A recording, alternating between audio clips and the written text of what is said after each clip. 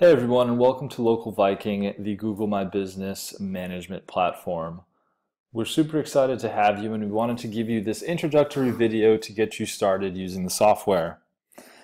The first thing you want to know when logging into the software is managing your subscription is done through this billing tab right here.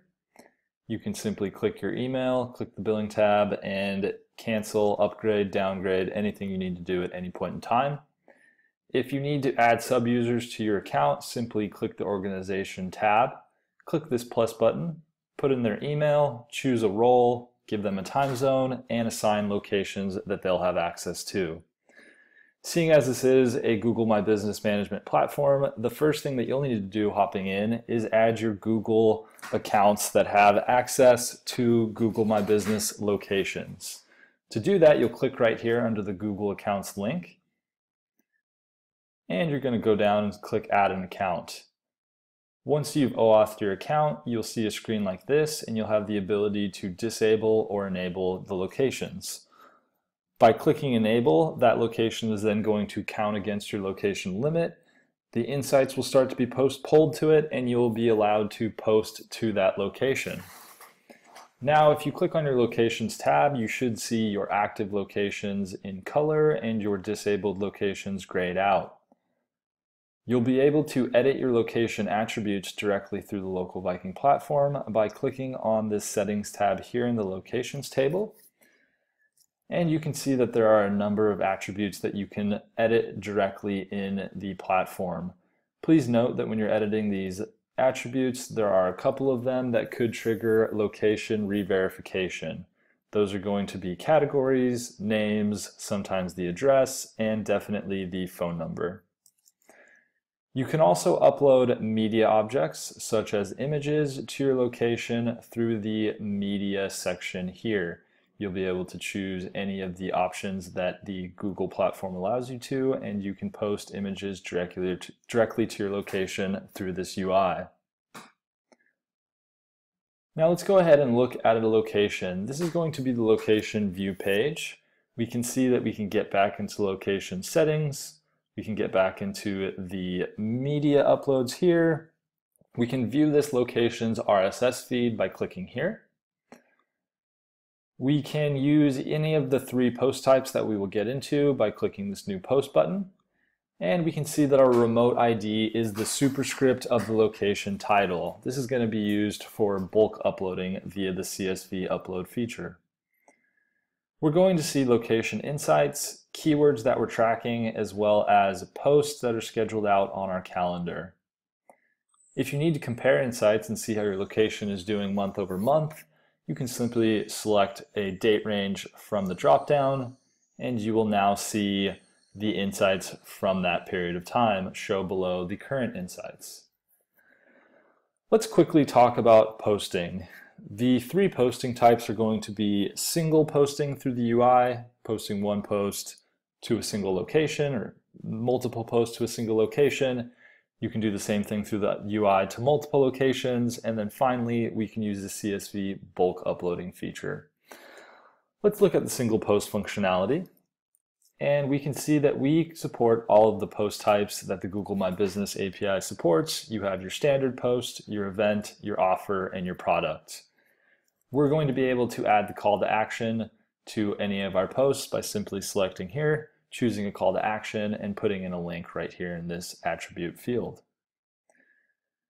The summary is going to be the content of your Google My Business post, and this does support Spintax. So you can put Spintax in here, click the Spintax enabled button, and the system will properly deal with Spintax.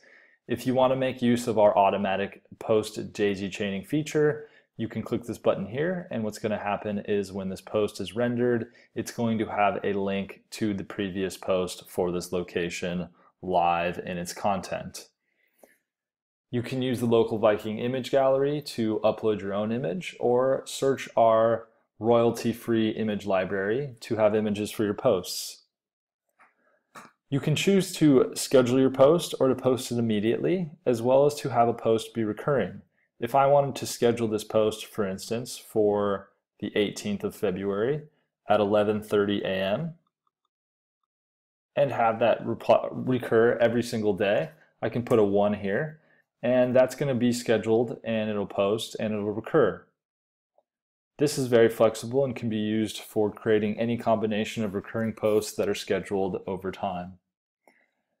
The event, offer, and product post types are going to have a few extra attributes that you'll need to put in up here. Just make sure that you're aware of that and you are properly adding in the attributes. Going back to our other post type, we can look at multi-location posting.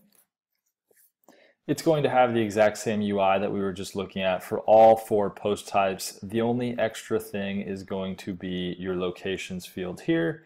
You can click this and you can add as many locations as you'd like and this post that you'll be creating will be posted across all of them either at the same time immediately or on your schedule that you choose. The last post type that we're going to look at is going to be the CSV bulk upload. You can find that by clicking here through any of your locations. And you can download our example template by clicking this button right here. Let's go ahead and look at an example template. Across our top row, you can see all of the headers that you need. And we have in this field here a description of whether or not each attribute is required, as well as some example formats of how the, the data should go in. Please note that this field here, the Google remote ID for this location is very sensitive to being updated by spreadsheet programs such as Excel and being changed into scientific notation. We do want to make sure that this comes as a string and not as scientific notation. Another note is scrolling over to look at our schedule that field. Make sure that you pay special attention to the date format and make sure that you keep that formatted as a string and not as a calendar field or a date time field. You'll see a number of examples right here. The first six or seven rows are going to be example fields. And when you actually want to post with this live, what you're going to need to do is select all of the data, delete it all, and then go line by line and add your data in. Once you've finished your CSV, you can come here, choose File, click Upload, and that's going to process the CSV through the system. You can click into your CSV's date field and you'll see any errors as well as successes that the system has when it's processing your file. One of the last things we have that we want to go over is local rank tracking. You'll notice that every single time you click into a location, you will have the opportunity to add keywords. The Local Viking keyword management platform is built on a credit system. That means that you will have a number of credits across your account and you can use them in any way you see fit. When we add keywords, we can choose to add the keyword and then we add the search type, which means we have access to track Google local data, Google organic data, and Google organic mobile data. We choose the frequency of how many times a month we want our keywords to be updated. It can be every 48 hours, once a week, or bi-weekly. Once you've done that, the system is going to continuously pull in your keyword rankings across the different categories that you chose.